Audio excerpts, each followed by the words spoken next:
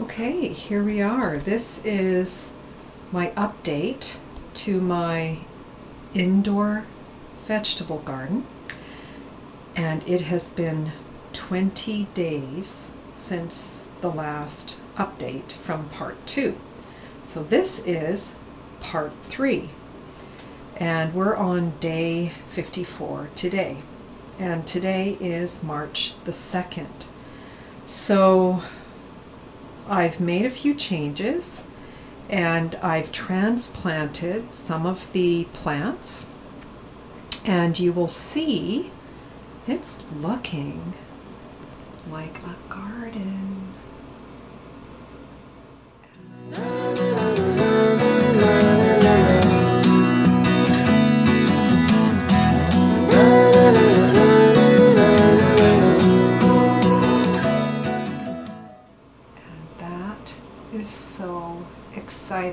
I've started some new plants. I'll tell you about those in a moment.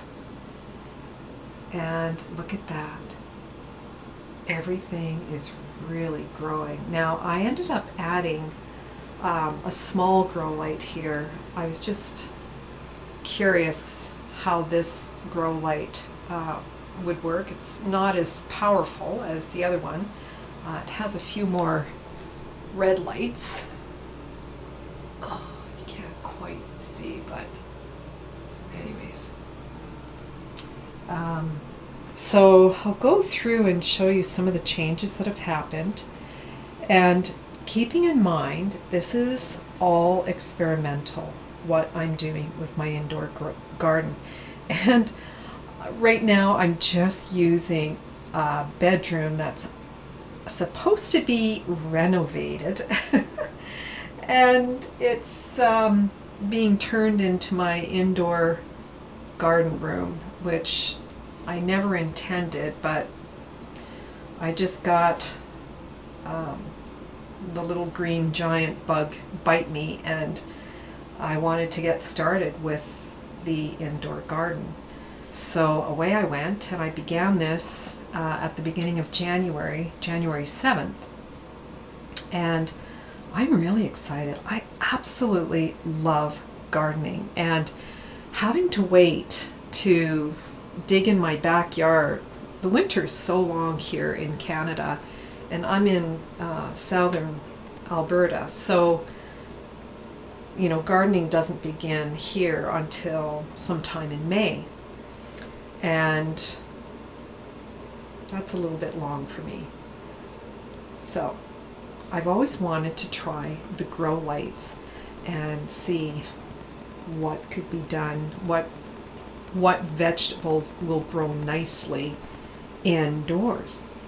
So I think this will be interesting to see over time which which plants grow the best which ones thrive, which ones need a little bit more babying.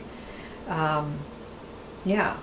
Now I just want to show you um, this here plant. I took it in uh, from outdoors and look at I I had cut it down because the leaves uh, had turned brown because it wasn't getting any light really and um, probably not enough water too but this is just one little strand that I just need to cut off. But I, I did end up cutting it right down. Um, if you look back at video one and video um, part one and part two, you'll see that I had really cut it down. Now look at, look at, look at this. This is all new growth. And yeah, so by the time May comes, this little baby's going to be ready to be put outside again once it, it's warm and safe to uh, be put outside. And then take a look at this one. This little guy's also, you know, he's been growing up some shoots. Look at, this is all, these are all new. All of this. And you can see in here, this part ended up dying off, but there's some new little shoots coming up. So how exciting is that? We have some happiness going on here. I'm so pleased. And also, sorry, the camera keeps moving back. I want to do this so it doesn't make your head dizzy. Um, and look at here. See, this one here is starting to grow up as well. So, and that was a whole new shoot because this one had died out and and then this sprigged up. So I've just been keeping it watered uh, and it's just absorbing um, the overflow of light that's coming off of this light. And this light here is uh, 2000 uh, power, 2000 watts or whatever it is. And it's been an amazing light. I love this light. Um, it's very, very sturdy. This is warm. Um, and if you can kind of see how it's set up. I like this. It's got the, the hooks here and up top there's the pulleys and then I have it hooked into the ceiling and when I want to raise it or lower it I just use the pulleys and that all comes with the light the way it's set up. I got this light on Amazon and yeah and there is um, it's kind of hard to see but there is something to do with an adjustment here which I haven't needed to do because the light is doing what I need it to do. So I'm going to go around and take you through each of the plants, what I've done uh, since I've transplanted them. And as you know, my very first thing that I planted was my mint. And I went, uh, when we were having a Chinook, I went to my backyard and just dug up some dormant mint plants, brought them in, and put it in a little container. Uh, then I eventually transplanted into this container. So I can just keep this indoors and just let it grow. And as it grows, I've just clipped it and used it in my iced tea. And in fact, uh, just recently, it's it's not very big right now, but recently um, it had gotten up. Oh, let's see, it, it got up pretty good. So I ended up clipping a bunch of the leaves down and I dehydrated it um, and then put it in my mason jars along with my other dehydrated mint uh, that I stored over the winter so far. And yeah, I, I, I will drink it as tea just like that, add a little pinch of honey, but I use it mostly for my iced tea, and I do the natural iced tea, as I mentioned before, um, with my decaf Earl Grey tea, and I use honey, and I'll even steep some mint tea and just pour that in with my regular tea um, instead of putting fresh um, mint leaves. You know, before when I didn't have it, when I didn't have fresh, I would just use my dehydrated tea or mint leaves. So yeah, you can do that. But for me, I mean, now that I've got this fresh mint, I just, you know, I, I, you know, probably take off about that much and just throw it into my jug in the fridge and there it sits in my jug. And it's so nice. Okay, so I have three kale plants and I'm going to show you what's going on with my kale plants. Now, my kale plants uh, were transplanted from their little containers, uh, the little starting containers, and I put it in this container. Now, when I grew kale in my garden last year, my kale grew up and it was very big and lush and big leaves. Um, this one uh, this, these kale are not growing very big. And that's because the pot is not big enough for what's here. And so I ended up, and, and I have, I had three of these pots this size, that I had my kale in, or have my kale in, had and have. And I transplanted one of my kales that was the same size as this still is now. And I'll show you what happened when I when I transplanted my other kale that was the same size as this right now. It ended up I put it in a much bigger container. Look at that. Now that's a big container. And this kale, look at the size of this kale in comparison. So I've already, you can see here, yeah, it's, it's, it's really grown up and they've sprouted. The leaves have just gotten so much bigger. But yeah, they were crowded and you know, I could probably even uh, have a bigger pot still and my, my leaves would get probably a little bit bigger yet. But for, for me, um, and for the space that I have at the moment, I went with that size. I do need another grow light uh, to go to the next level, and I'll talk about that in a moment. So I have already been pinching and plucking. You can see right there. I've already pinched off some kale. Um, I've taken a few sprigs out here and there. Here's another one. Oops, where are we? There's another one. Uh, you know, and I and I try to just you know do it randomly throughout. So there's another one. Um, so I'm not shocking the plant too badly when I do pluck it out. And you know what? I'll come into this garden and I'll just like start plucking them off and just chewing on it. getting plants fresh, fresh from the garden immediately, you're getting 100% of the nutrients uh, and the enzymes. The enzymes uh, are very important. Um, once you cook something, you kill the enzymes. Uh, heat destroys enzymes. And that's what we need in our body to get our, you know, for our cellular function to operate properly. Uh, so that is the kale. And I'm going to come over and show you my other kale plant. So this is, this, this, this one is in a small container as well.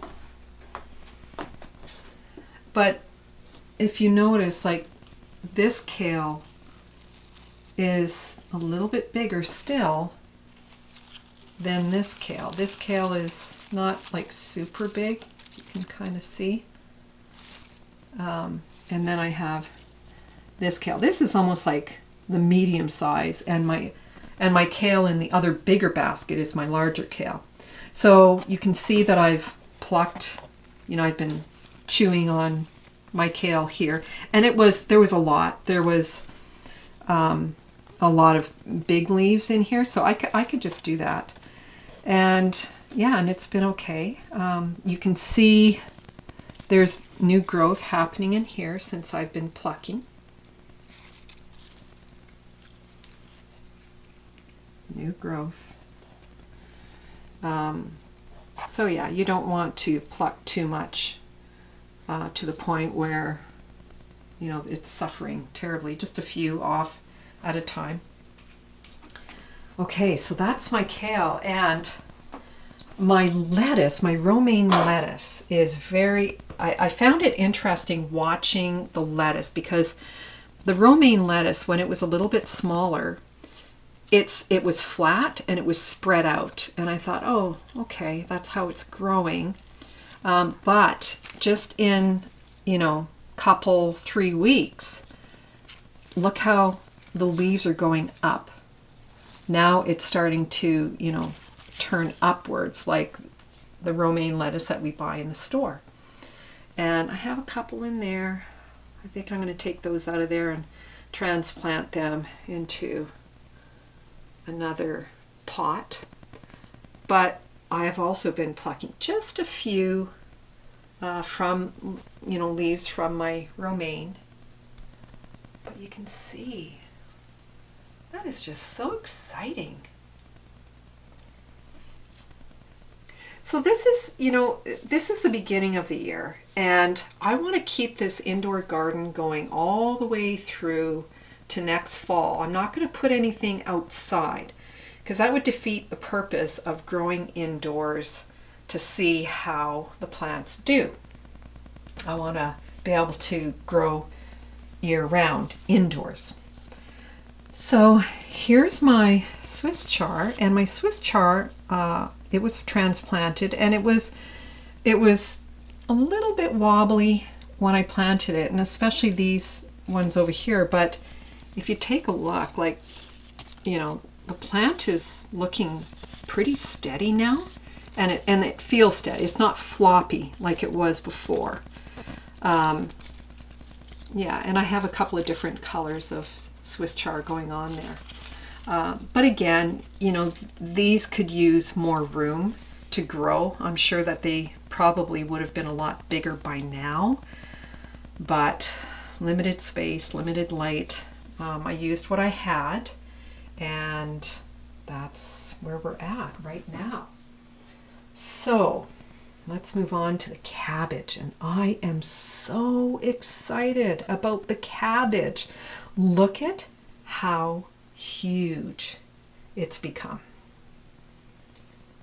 And they're all growing sort of at a different rate. This is my my my younger, smaller cabbage, um, and look at this. Look at how amazing that is. Like it's it's it's peak. It's growing up, so it's going to start forming its little cabbage ball and there's my other one. I have six of these.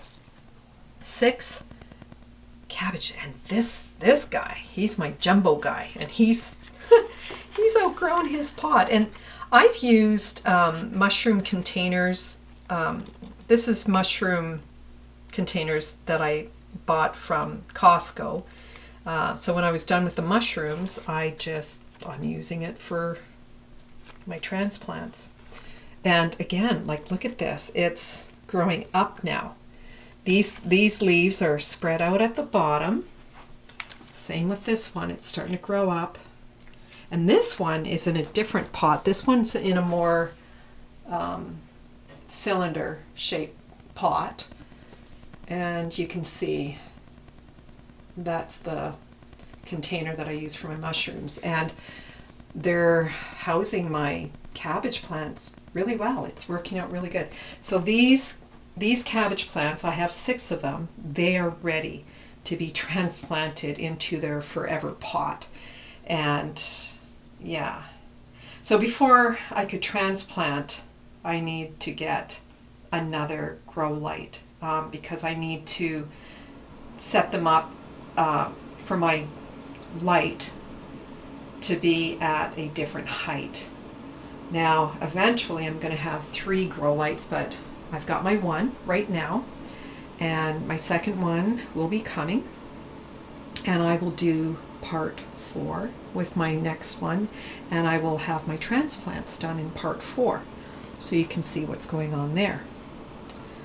Okay, so now I don't know my spinach. I started my spinach off, if you remember, in the kitty litter box. It was the kitty litter box was probably about, you know, about that deep. And this one here is much deeper and much longer. So I thought, okay, you know, my, my spinach should be able to grow up.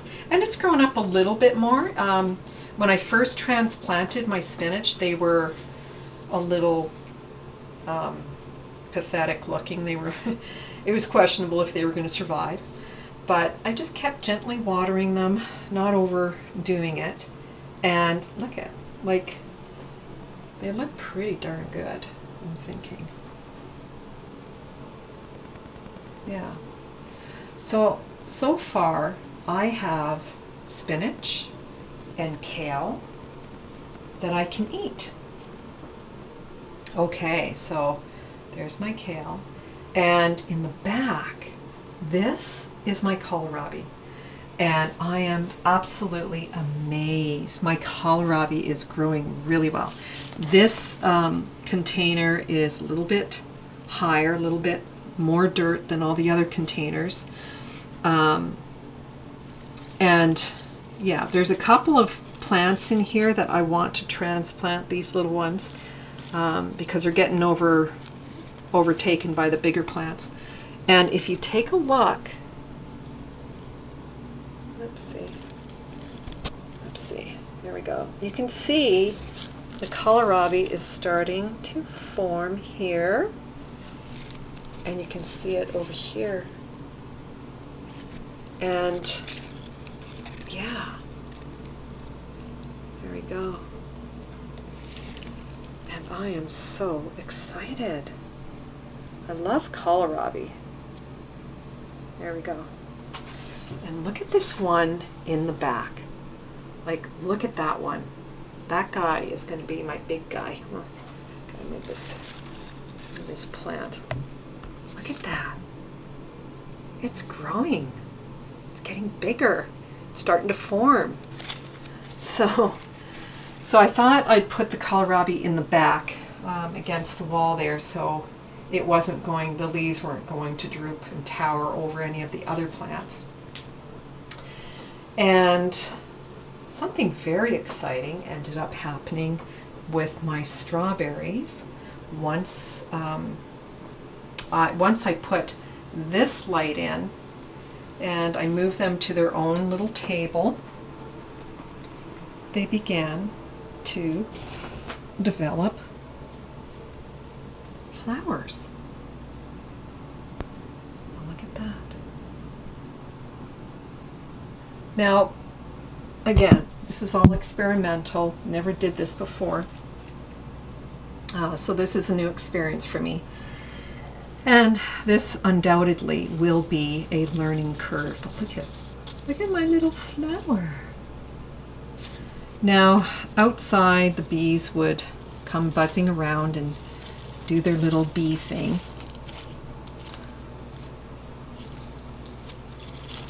Um, but in here, there's no bees. And I wasn't sure if the strawberries would just work it out themselves or if they needed to be pollinated um, with the bees. So this is kind of what's happening.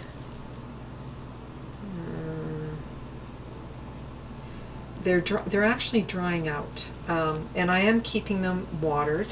So I have the question in my mind is, can I pollinate these by brushing them with a brush? Uh, how how I do that, and or do I need bees? You know, or is it fertilizer? Um, or you know is there something going on with the roots especially this one here this one's starting to get some foliage damage here and yeah you can see that um, the strawberry is starting to form like the little seeds that were around there are shriveling back. And yeah. Here's another one right here. So I'm just going to keep them going and uh, I wanted to see if these flowers would do their own thing. But I need to talk to the garden store and just get a little bit more information and look on the internet and that sort of thing. So my onions, these are my onions, and these have grown up a little bit more. Um, they're not as big as I would imagine that they would have been for and and, and these little onions here are have been grown from seeds. So they just have been taking their sweet old lazy time. And these onions here, um, I had some little onion bulbs that are um, that I had for pickling, and some of them were starting to sprout little uh, green shoots. So I decided to just plant them and just see what would happen. And they're kind of keeling over right now. Um, yeah, So I, I'm I I'm not super hopeful that it's going to create anything, but it's an experiment and this is all a learning curve. Okay, so now my new plants, and this is going to be another learning curve. I finally, I planted tomatoes, and these are Campari tomatoes, and in fact, they were, uh, the seeds I used um, were from uh, an actual tomato, and I took, cut up the tomato, took the seeds out, put them on paper towel, and uh, let the juice, you know, basically dry off. And this is it here. So I just put them on the paper towel and kind of squished the juice off of them and let it dry out. So this is, yeah, the seed that planted there. And I planted two seeds for each um, cell. And I've got two here, one here, and one. So I've got four, and possibly there is another one shooting up right here. Kind of hard to tell. It hasn't done much. But these little plants here, I'll let them go for a little bit, and then I'll transplant those. And these here are new as well. And I also use the seeds from uh, the peppers. This is red pepper. And I planted two seeds for each cell. And this is a cucumber. And this, this was from cucumber seed that I had for, you know, it's a cucumber, but they can be used for pickling as well. So my little, uh, this is just after about five, five days or so. Um, a little shoot came up for my cucumber. And this is my green pepper here. And so I'm just waiting. And so I'm watering them with um, a, a, special fertilizer for um, seedlings. And that's what I've done so far. And by the way, here's my radishes. Uh, my radishes are really actually um, quite done. So I'm going to end up, let me see, let me see what's in there. Okay, so here's one. I'm just going to pull this one up. Yeah, so my radishes are not, you know, super big, but Remember I talked about in the last video, I was wondering if they were going to be woody, and that's not big at all. Uh, but no, they it, it, wasn't. I pulled up um, I pulled up one of the radishes and it wasn't woody at all. But these have been growing really long enough. So I'm going to end up using this pot for something else, or I'll probably just, you know, grow some more radishes um, they've kind of had their moment. And again, you know, I might not have had the right, you know, I might have needed to give them some kind of nourishment or something that'll give them a little extra boost. Um, but I've got more radishes I can plant, and radishes grow fairly quickly. So this pot's going to be done. Now, what I'm going to do next is add another grow light and I'm going to add another table. I'm going to transplant, this is my Scotch or my Scottish kale, Scottish curly kale. I'm going to transplant this into a bigger pot and my cabbages are all going to get their own big individual pots. They're forever pots. Oh, I almost forgot. My little glorious watermelon. Look at how big my watermelon has grown. Look at that. I am so excited. These water these watermelon plants are bigger than what I attempted outside last year and I am just thrilled to no end. I just, I'm very excited about this. Look at that. This was my smaller one, and it and it's really started to shoot up. Um, but they're both growing so nicely. They're actually they've actually grown better than the watermelon plants that I tried to grow uh, in my garden last year. And we get really hot weather here in August, and I would have expected they would have just really blossomed along, but they didn't. And the year before, I tried watermelon and cantaloupe, just nothing came of it. Um, they, they really barely even grew any foliage. Um, they withered out and died. But in here, uh, they're a little bit more protected and babied, and so when they eventually start to get their flower, uh, I want I don't want to miss an opportunity with watermelon because you know it, it they take so long to grow. Um, so I'm gonna do as much research as I can and figure out once I get to the flowering stage, can I pollinate them? Can I you know deal with it myself? Can we can I grow this indoors or do I need bees? How will this work? So they will also get their own plant or, or their own pot uh, for indoors. And so that I can I could move them outside if I you know really needed to. But the whole purpose of this indoor garden is to see what I can accomplish growing indoors.